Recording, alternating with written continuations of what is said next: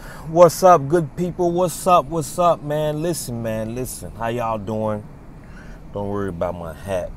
My tired this fucking hair is hot. You hear me? Um, but check this out, y'all. No, I don't I don't do the videos like I used to, and I need to get back on here, get my videos together, and really talk to y'all, man, because there's a lot of shit that's about to go on, and you need to be prepared. So everybody that listens to me, that hears my videos, you really need to sit down and talk with your family and what's about to happen next because this shit is about to get kicked up to a whole nother level.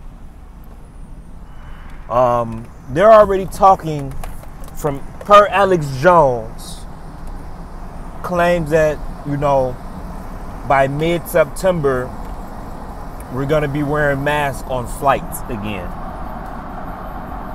Let me roll this window up.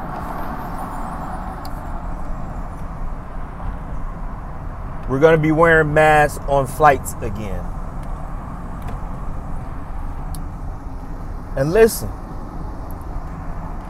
they also said that we're going to go back on lockdown in December. You guys got to get ready. Because what this means is they're going to start installing the 6G really is going to be about 7 to 8G services in your area. And people are going to start getting sick. That's exactly what this means. Just think about it, right? I want you to pay attention to this. 5G started around mid or the beginning of 2019 in certain areas. By by 2020, it was kind of already out actually, to be honest. Uh, per a person that I know that works for T-Mobile, already said they've been had 5G.